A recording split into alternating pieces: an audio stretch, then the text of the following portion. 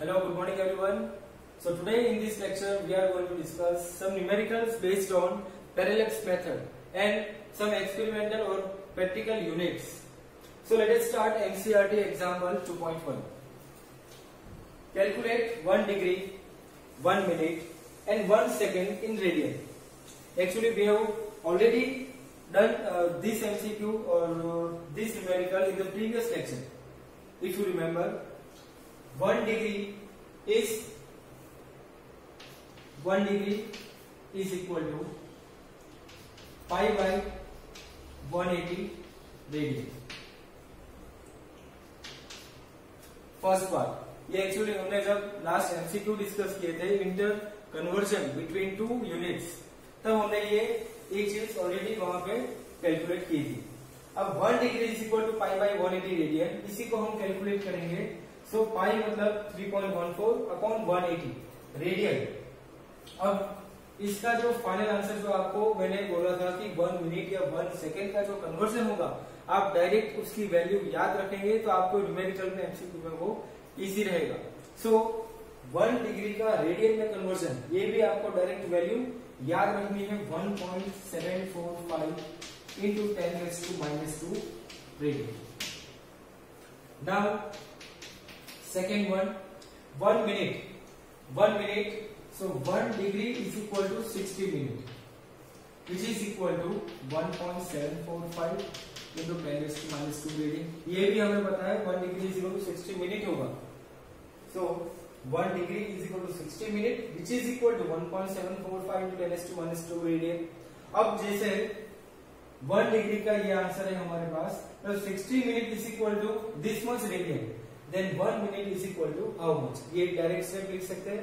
Otherwise आप directly इसका ये कैलकुलेशन कर सकते हैं one minute is equal to pi by one eighty ये पूरा डिग्री में कन्वर्जन और उसको हम सिक्सटी से डिवाइड करेंगे मतलब वन अपॉन सिक्सटी सेम ही स्टेप हो जाएगा। अगर आपको ये वाला स्टेप याद रहता है one degree is equal to sixty minute which is equal to this much radian अगर 60 minute is equal to 1.745 into 10 is to minus 2 radian, then one minute is equal to how much? Simple, direct step. So, इसको हम calculate करेंगे तो one minute is equal to ये हो जाएगा two point nine zero eight into ten is two minus four radian which is almost two point nine one into ten is two minus four radian and the last one is one second अब one second अब हमें यह पता है one degree is equal to sixty minute and sixty second is equal to one minute so sixty second is equal to one minute और one minute का radian में conversion two point nine one into ten two minus four radian इसका मतलब अगर sixty second का radian में conversion हमें पता है 2.91 point nine one into ten two minus four radian तो वन सेकेंड में कितना होगा? मतलब इस वैल्यू को अगेन हम 60 से डिवाइड करेंगे. So one second is equal to एक आप ये वाले टर्म में सीधा लिख सकते हो यहाँ पे pi by one eighty into one by sixty मतलब मिनट का रेडियन में कन्वर्जन और उसको 60 से और हम डिवाइड करेंगे. तो फाइनल आंसर होगा इसका 4.85 point eight five into ten two minus six radian so so, ये सारी वैल्यूज़ आपको याद रखनी है। ये न्यूमेरिकल में यूजफुल रहेगी so this one is example 2.1 from NCERT now the next one is example 2.2 A man wishes to estimate the distance of a tower. He stands at point A. मतलब first position हमें है point A in front of tower C and sports a very distant object O in the line with AC. अब इस position में मतलब हमारे सामने मतलब हम जहाँ पे खड़े हैं, उस टावर का वो बेसमेंट होगा। यहाँ से हमने इस टावर की हाइट को मेजर करना है। मतलब सी पॉइंट तक जाना है मतलब ये वाला पॉइंट इसी पॉइंट से इसमें एक फार ऑब्जेक्ट को ऑब्ज़र्व कर लिया। मतलब फार ऑब्जेक्ट को ऑब्ज़र्व करने का एक रीजन जो हमने लास्ट मेथड में स्टडी किया था पैरेलल्स मेथड में कि अगर ऑब्जेक्ट हमसे फार डिस्टेंस पे होगा तो सारे रेज वहाँ से हम तक पहुँचने वाले सारे रेज ऑलमोस्ट पैरेलल हम लोग मान लेते हैं। सो so, वहाँ से जो रे आएगा उस पूरे रे रे को हमने ऐसे दिखाया यहाँ से। एसी वाली लाइन के ऊपर हमें ये ओ ऑब्जेक्ट को दिखाया जो फार ऑब्जेक्ट है। इस वाले पॉइंट को हमने ऑब्ज़र्व कर लिया। हमारे टावर की जो मेन जो हाइट होगी वो सी तक होगी। अब next he box perpendicular to AC up to B अब यहाँ से वो चलते चलते बी पॉइंट तक पहुँचा, जो एसी से परपेंडिकुलर है। 100 मीटर मतलब ये डिस्टेंस हमें गिवन है 100 metre and observe O and C again अब यहाँ से उसने क्या किया? बी पॉइंट तक पहुँचा। वहाँ से उसने अगेन सी एंड ओ को ऑब्ज़र्व किया। अब मैं आपको ये पूरी सिचुएशन यहाँ पे एक्सप्लेन करता हूँ। फॉर एग्ज़ाम्पल हम यहाँ पे खड़े हैं। यहाँ से एक टावर की हाइट सी पॉइंट तक है। हमने पहले टावर की हाइट को यहाँ से ऑब्ज़र्व किया। इसी टावर से और आगे चलते गए हम और फार डिस्टेंस पे एक ऑब्जेक्ट ओ को हमने ऑब्ज़र्व कर लिया। इस वाले पॉइंट को हमने सेक्सटेंस से ऑब्ज़र्व किया, उसको मेजर कर लिया कि ये एक परपेंडिकुलर लाइन होगी। मतलब यहाँ से हम, हमारे साइड से देखेंगे तो एक स्ट्रेट लाइन होगी वर्टिकल लाइन जहाँ पे हमने एक सी पॉइंट पे टावर की हाइट को मेजर किया ऑब्ज़र्व किया और इसी से और फार डिस्टेंस पे हमने ओ पॉइंट को ऑब्ज़र्व किया। मतलब ये वाली पूरी लाइन बनेगी। अब हमने क्या किया? टावर इधर इसी पोजीशन पे है। हमने सिर्फ़ टावर से 100 मीटर डिस्टेंस कवर किया टावर की हाइट से परपेंडिकुलर मतलब हम चलते चलते यहाँ पे पहुँच गए 100 मीटर डिस्टेंस पे। टावर की पोजीशन अभी भी यही पे होगी। ये सी पॉइंट होगा और इससे ऊपर होगा पॉइंट ओ अब ये 100 मीटर डिस्टेंस मतलब बी पॉइंट पे हम पहुँच गए। यहाँ से हमें क्या करना है? उस सेक्शन इंस्ट्रूमेंट से हमें वापस सी पॉइंट को ऑब्ज़र्व करना है। मतलब वो क्या करेगा? यहाँ से एक एंगल फॉर्म करेगा। अब वो एंगल फॉर्म करने के लिए हमारे पास सेकेंड लाइन भी होनी चाहिए। तब हमने क्या सोचा कि ये ओ पॉइंट जो है हमारा ये ऑब्जेक्ट वो तो फार ऑब्जेक्ट होगा। जो डिस्टेंस हमने ए से ओ तक का मेजर किया होगा जो पोजीशन हमें वहाँ से दिखेगी सेम पोजीशन हम बी से भी ऑब्ज़र्व करेंगे बिकॉज़ ये ओ ऑब्जेक्ट कहाँ पे होगा? फार डिस्टेंस पे। सो so, हमने क्या किया? बी पॉइंट से पहले सी वाले पॉइंट को मतलब टावर की हाइट को ऑब्ज़र्व किया। उसके बाद हमने फार ऑब्जेक्ट ओ को ऑब्ज़र्व करते करते देखा तो वो ऑलमोस्ट हमने ए ओ को पैरेलल हमने एक पॉइंट मिला बी ओ मतलब ये वाली लाइन जब हमने ए से जब ओ को ऑब्ज़र्व किया था मतलब इस वाले पॉइंट से ओ को ऑब्ज़र्व किया स्ट्रेट लाइन मिली हमें। अब इसी पॉइंट को ओ पॉइंट को जो फार डिस्टेंस पे होगा, उसी पॉइंट को हमने बी पॉइंट से ऑब्ज़र्व किया। तो वहाँ पे हमने देखा कि वो ऑब्जेक्ट ऑलमोस्ट हमारे पैरेलल ही हो जाएगा। मतलब उस वाली जो लाइन थी ए ओ उससे पैरेलली लाइन हमें मिलेगी बिकॉज़ ऑब्जेक्ट जो होगा वो फार डिस्टेंस पे है। इसलिए ये दोनों पैरेलल लाइन होंगे। अब इस वाली पैरेलल लाइन से हमने सी पॉइंट को वापस ऑब्ज़र्व किया तो हमारा सेक्शन एक एंगल के ऊपर वहाँ पे वहाँ पे स्टेडी हो गया। मतलब हमने सेक्शन से उसकी हाइट को ऑब्ज़र्व कर लिया।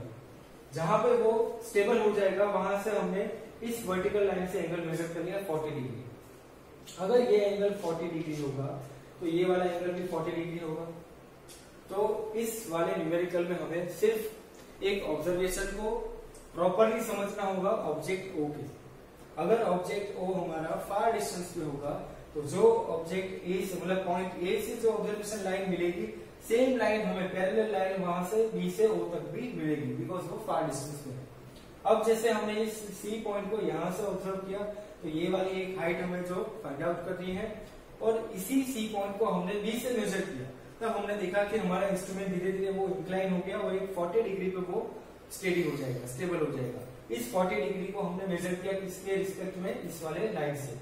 जो लाइन इस एओ लाइन से पैरेलल होगी अगर ये लाइन के साथ ये बी सी वाली जो लाइन 40 डिग्री एंगल क्रिएट करेगी सेम एंगल यहाँ पे हमें मिलेगा 40 डिग्री अब हमें कैलकुलेट क्या करना है? Observes O and C. As O is at far distance BO almost equal to AO मतलब ये दोनों line parallel line he observes line of sight of C is shifted and forms theta is equal to 40 degree.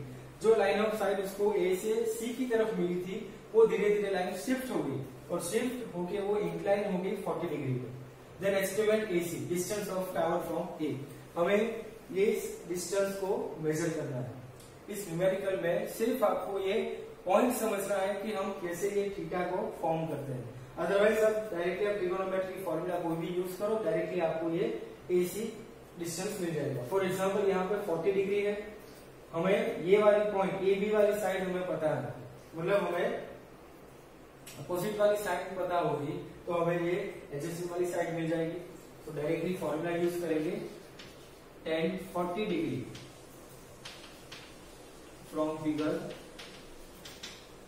forty degree is equal to A B upon A C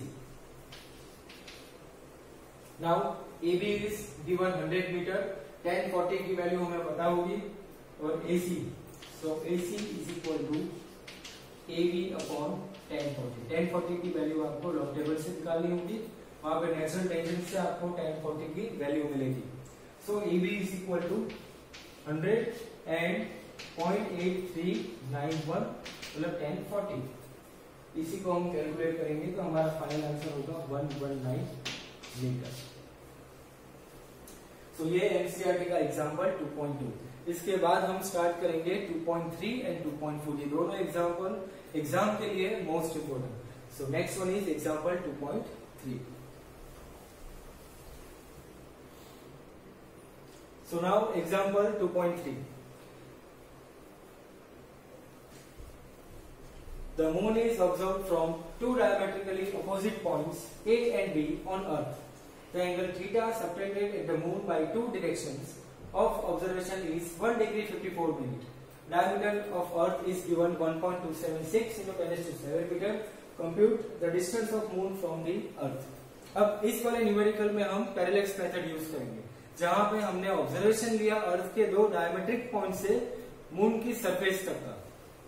अगर इसकी diagram बनाएँगे so the moon is observe from two diametrically opposite point and B on earth मतलब earth की surface पे हमने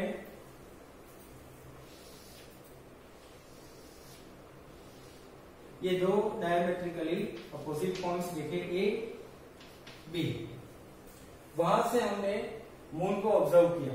for example हमने इस वाले पॉइंट को ये हो जाएगा अर्थ ये मून अगर इस वाले पॉइंट से हमने ऑब्जर्वेशन लिया तो ये एक लाइन होगी, ये एक line of site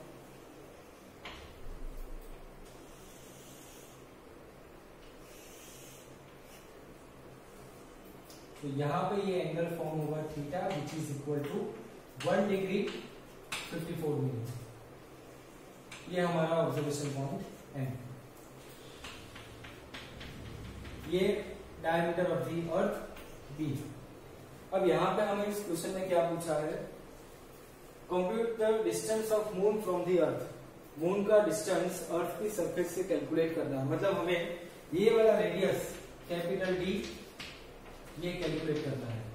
so so, हमें कौन सी वैल्यू गिवन है? डायमीटर ऑफ़ अर्थ मतलब ये बी की वैल्यू हमें क्वेश्चन में गिवन है। So B is equal to one point two seven six into ten s to seven meter ये एक वैल्यू गिवन है। अब थीटा थीटा की बात करेंगे तो ये डिग्री एंड मिनट के अंदर ये पूरा हमें थीटा की वैल्यू गिवन है। अब इस थीटा को डिग्री का मिनट से हमें ऐसा यूनिट में कन्वर्ट करना है मतलब रेडियन में कन्वर्ट करना होगा। So theta is equal to one degree fifty four minute अब इसको रेडियन में कैसे कन्वर्ट करेंगे? ये सबसे इंपॉर्टेंट पॉइंट रहेगा इस न्यूमेरिकल का। अब डिग्री का मिनट में मिनट का सेकंड में और सेकंड का रेडियन में कन्वर्शन हमें बता। हमने लास्ट एग्जांपल 2.1 में लिखा अगर हम डिग्री को मिनट में कन्वर्ट करेंगे तो 60 minute plus 54 minute is equal to one degree 54 minute होगा। मतलब वन डिग्री को हमने 60 मिनट यहाँ पे प्लेस किया। सो टोटल मिनट कितनी हो जाएगी? वन वन फोर मिनट अब इस मिनट का डायरेक्टली रेडियन में कन्वर्शन जैसे मैंने आपको बताया था फ़र्स्ट एग्ज़ाम्पल में कि आपको ये डायरेक्ट वैल्यू याद रखनी है। मिनट का रेडियन में कन्वर्सन या फिर डिग्री का रेडियन में कन्वर्सन या फिर सेकंड का रेडियन में conversion so one one four minute तो one one four into two point nine one into ten is to minus four radian because one minute is equal to one minute is equal to two point nine one into ten is to minus four radian तो ये theta का पूरा conversion अब हमें क्या पूछा है? Distance of moon from the earth मतलब कैपिटल डी ये हमें कैलकुलेट करना है। So according to definition of plane angle theta is equal to क्या लिखेंगे हम? Arc B upon radius A L या फिर बी एल जो भी आप लिखो यहाँ पे ए बी मतलब स्मॉल बी एंड ए मतलब कैपिटल डी यहाँ से हमें कैपिटल डी कैलकुलेट करना है. D is equal to B by theta ये हमारा एक स्टैंडर्ड फॉर्मूला है जिसके अंदर हम बी की वैल्यू और थीटा की वैल्यू प्लेस करेंगे. So capital D is equal to small B मतलब हमें वैल्यू गिवन है 1.276 into ten raise to seven upon theta मतलब 114 into 2.91 into ten raise to minus four तो इसका कैलकुलेशन करेंगे तो हमारे पास फाइनल आंसर होगा 3.84 point eight four into ten raise to eight meter so ये हमारा final answer now next one is example 2.4 The angular diameter of sun is 1920 second If the distance of the sun from earth is 1.5 into 10 to 11 meter, what is the linear diameter of the sun? अब यहाँ से हमें सन का linear diameter calculate करना है और हमने observation लेना है अर्थ की सरफेस से बट हमें यहाँ पे कौन सी एक क्वांटिटी दी है angular diameter of the sun angular diameter of the sun का मतलब क्या होगा? हम सिंपल एक डायग्राम यहाँ पे बनाएँगे। सपोज़ ये अर्थ की सरफेस और हमने यहाँ से सन को ऑब्ज़र्व किया। इस वाले पॉइंट और इस वाले पॉइंट को हमने यहाँ से ऑब्ज़र्व किया।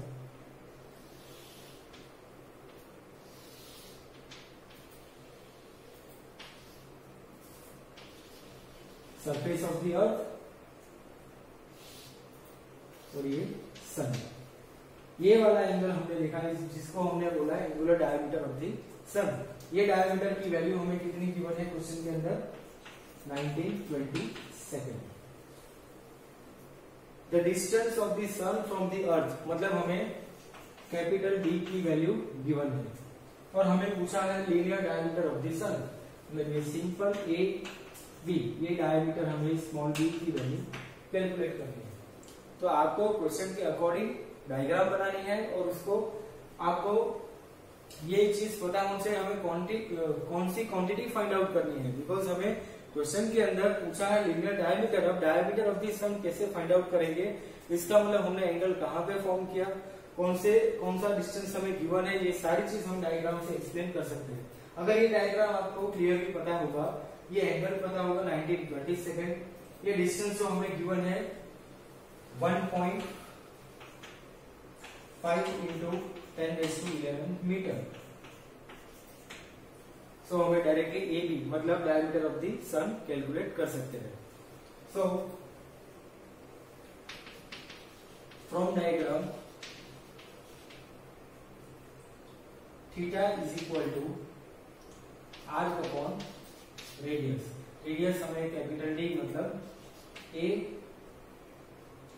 इस पॉइंट को हम नाम देते हैं कैपिटल ई सो ए अब यहाँ से हमें कैलकुलेट क्या करना है? ए बी मतलब small B upon capital D so small B is equal to capital D into theta ये हमारा बेसिक फॉर्मूला अब इस क्वेश्चन में हमें एक क्वांटिटी दी है capital D distance from sun to the earth second quantity है angle 1920 second theta is equal to 1920 second अब इसका रेडियन में conversion one second is equal to 4.85 point eight five into ten to minus six radian so 1920 second is equal to how much simple direct step लिखेंगे 1920 into four point eight five into ten to minus six radian तो ये theta की value radian के form में so now d is equal to 1.5 into 10 raised to 11 into theta is given 1920 into 4.85 into 10 raised to minus 6.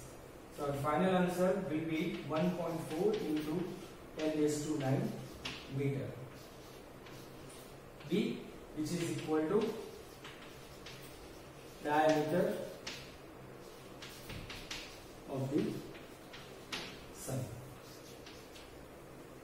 so, ऐसे example हमारे NCERT में experience के numericals में भी दी है तो सेम टाइप के न्यूमेरिकल हम नेक्स्ट लेक्चर से स्टार्ट करेंगे. Thank you